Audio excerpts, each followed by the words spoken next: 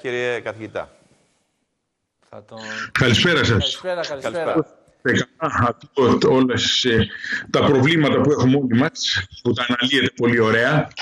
Ε, εδώ θέλω να σας πω από τη Νέα Υόρκη τώρα ότι έχουμε διάφορα καινούρια, ε, καινούριες πληροφορίες. Η πρώτη πληροφορία είναι ότι ο κυβερνήτης μας είπε σήμερα ότι έχουμε λιγότερους θανάτους, έχουμε κάτω από 300 θανάτους την ημέρα, τώρα είμαστε γύρω στους 250 θανάτους και επίσης μίλησε για ένα πρόγραμμα οικονομικής επανεκκίνησης το οποίο ε, είναι σαν τα προγράμματα που ακούμε από όλες τις χώρες. Ε, οπότε αυτό που μάθαμε είναι ότι από 15 Μαΐου θα είναι η επανεκκίνηση οικονομική για τη Νέα Υόρκη. Θα αρχίσει σε άλλα μέρη της πολιτείας που έχουν λιγότερο πυκνότητα πληθυσμού. Ε, αυτό που γίνεται τώρα γίνονται που έχουν αρχίσει τα τεστ αντισωμάτων τα οποία μπορεί να γίνουν σε εργαστήρια. Και θα δούμε τώρα τι σημαίνει αυτό διότι μέχρι στιγμής νομίζουμε ότι το 25% του πληθυσμού έχει περάσει το κορονοϊό. Ε, θα δούμε περισσότερα από τα αντισώματα.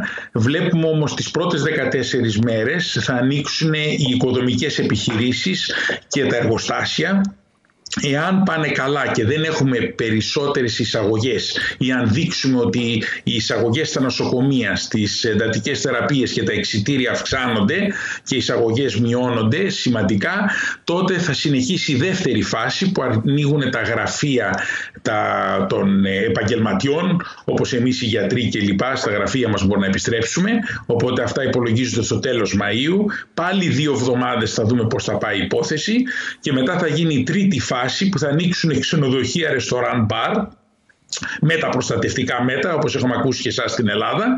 Και μετά είναι η τέταρτη φάση μέσα Ιουνίου. Οπότε εκεί πια θα κοιτάξουμε να ανοίξουν οι υπόλοιπες επιχειρήσεις και τα σχολεία πια θα ξεκινήσουν μετά το καλοκαίρι. Αν όλα πάνε καλά.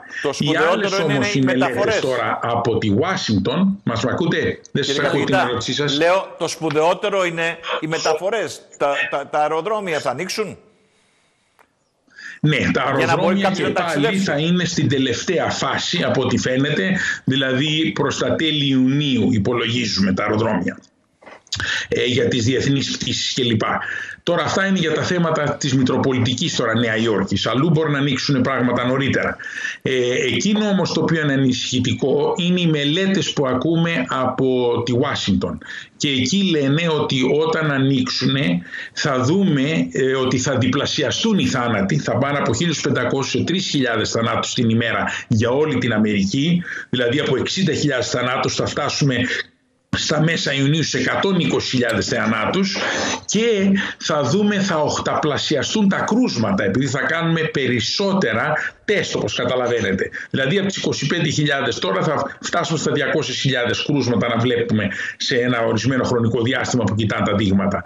Ε, αυτό είναι τώρα που μας ανησυχεί πώς θα προχωρήσει και αυτό θα εξαρτηθεί βέβαια πώς και ο κόσμος θα πειθαρχήσει και πόσο θα μπορέσουμε να διατηρήσουμε αυτές τις κοινωνικές αποστάσεις που μιλάμε ε, Εκεί λοιπόν βρισκόμαστε τώρα. Τώρα πού είμαστε με τα φάρμακα. Ακούμε ότι στελέχη πάτε στα φάρμακα, ε, είναι διαφορετικά. Μ' ακούτε; Μην, πάτε στα, πριν πάτε στα φάρμακα, ε, θέλω να σας ρωτήσω. Μια είδηση που ήρθε είναι της τελευταίας στιγμής για μεταλλαγμένο κορονοϊό που χτύπησε λέει Ευρώπη και Αμερική.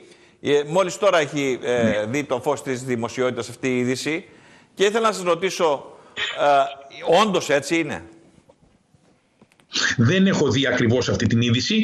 Αυτό που ξέρουμε είναι ότι είναι μάλλον τέσσερα στελέχη του κορονοϊού. Γνωρίζουμε ότι στις δυτικές πολιτείες, Καλιφόρνια, Ουάσιγκτον και Όργαν, είναι διαφορετικός στέλεχος αυτό που έχει χτυπήσει τις ανατολικές πολιτείες, Νέα Υόρκη και τις ανατολικές εδώ, Μασαχουσέτη, Ουάσιγκτον κλπ.